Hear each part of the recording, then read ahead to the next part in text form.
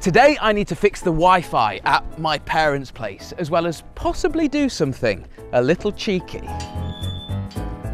My gran is moving in next door, and over the last few weeks I've been busy installing ANPR, CCTV and gate access systems. The problem is, there's no internet here.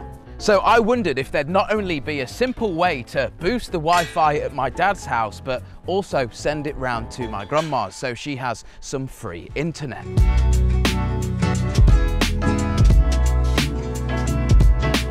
On paper, this should be really easy, but in practice, eh. So I'm gonna try out this system from ASUS. It's called the Asus Zen Wi-Fi.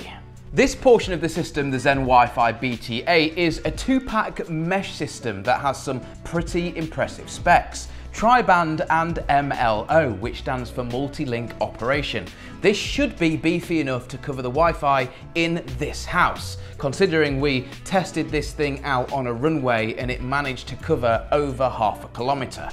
Now this unit over here is called the Asus Zen Wi-Fi BD4 and it's an outdoor wireless access point or an AI mesh node, meaning it can connect to this system wirelessly, live outside and rebroadcast your Wi-Fi. Not only that, it can be powered via PoE and then take that data line into my grandma's new cottage for her to use with some hardwired devices. In theory, hopefully all of this is really simple, but we'll see. Previously, we've been using this Google Wi-Fi system. It's been okay because it's hardwired, but now it's starting to show its age, and we get 250 meg fiber into this house, so it would be great to see all of that. So first we'll start with one of the BT8 units by plugging it into power and giving it an internet connection.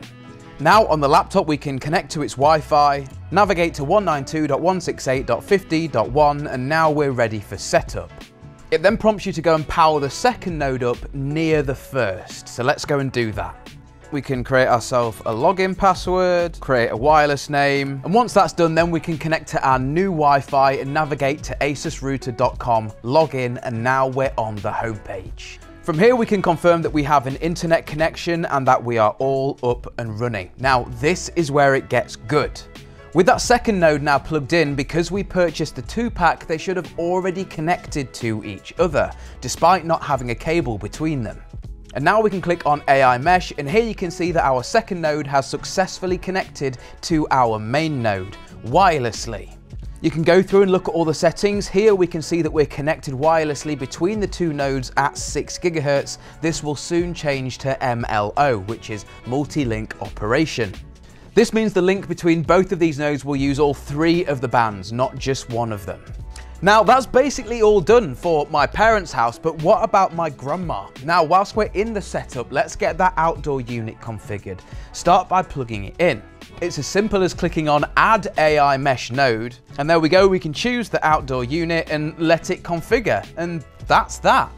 Now we can see that this outdoor unit is wirelessly connected. We can again check its signal strength and change any settings in here that we would like. Now all of this equipment is connected and talking to each other wirelessly, so we can now disconnect it from this location and put all of these devices in their forever homes.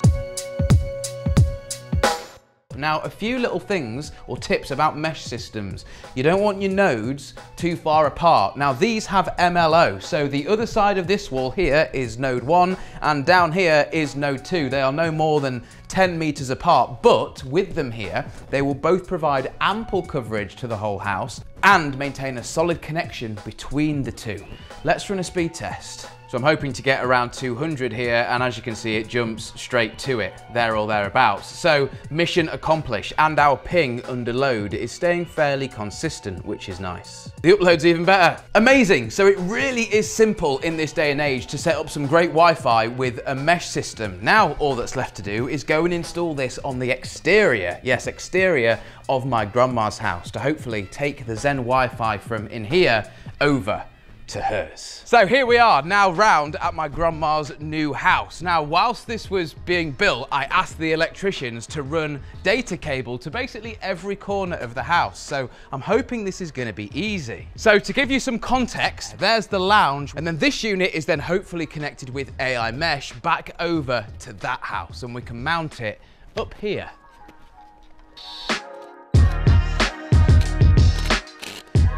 Okay, so I've got the mount drilled up onto the wall. I'm gonna plug in one of these Ethernets. Oh, it just goes under the ledge. That looks sick to be fair. So with the unit mounted outside, how are we actually going to power it? Now, as I mentioned, it has PoE. So in here are all of the data runs for this new cottage, as to which one of them goes outside. Now, there's a network switch down here that's gonna run all the cameras, the intercom, the wireless access point in this cottage, and it also supplies PoE to all of these devices, including our exterior ASUS unit up there. So I'm hoping that thing is now powered repeating the signal from my dad's house and has given this place internet through this switch. Let's go test it. Okay, so let's try a speed test now in this cottage. What did we get before? About 50 odd? I'm hoping to get at least 70 or 100. Huh, there we go. Seems to be hovering around 150, which again, really isn't that bad. So grandma is all Wi-Fi'd up. Now, let's be real. The only thing she's ever really doing online is watching my videos. She's definitely my biggest fan. So it's kind of a bit of a multi-use device this. We're bridging these two houses together and then using LAN on the inside to redistribute the Wi-Fi and have Ethernet inside being fed from this unit. But the AI mesh nodes, which this is one of, they also repeat the Wi-Fi as well, which means out here we should have some solid signal. Let's do some speed tests. So I'm hoping with that thing being mounted up as high as it is, that down at these community gates, we can still pick up a signal so we can connect these gates to the internet and use the app that comes with them. Yeah, I mean, that's not bad for down here. As long as we get five meg, I'm sure the gates will open absolutely fine. And we are ages away from that access point. So after using AI Mesh for the first time, what's my actual thoughts? I think it's a really powerful tool that's built into most ASUS routers and that's the reason that I really like it. You can reuse your old hardware by using let's say an old router that you've recently replaced and use it just as an AI Mesh node to extend the coverage of your Wi-Fi. Less old devices going into landfill, always a good thing, and so is good Wi-Fi coverage. On a whole, adding the nodes together was really simple. It literally was a few clicks and then it was done. And I like the fact that in the app itself, it shows you all of the connected nodes and then you can click into them and view things like their signal strength to make sure they've got a good connection to its main node or the main router. As far as the Zen Wi-Fi outdoor unit specifically is concerned, yeah, really impressed. Multiple power methods with the Clover and added PoE with two and a half gig ports and you've got two of them. You can set the device up as an AI mesh node, repeating Wi-Fi from an existing ASUS system and then bridging a building together like we did today. Or you can just set the device up as a router, use one of those ports for WAN and the other one for LAN. Or another common use case if you just wanted to use this thing as a wired access point, simple to do that. And then you could have it outside powered via PoE or that Clover port on the bottom. But overall, I'm really impressed with the speeds we managed to link my grandma's house to my dad's house with today. I'll put all the links to the products down there in the description. My name's been Alex, this has been TechFlow, and I'll see you in the next one. Peace.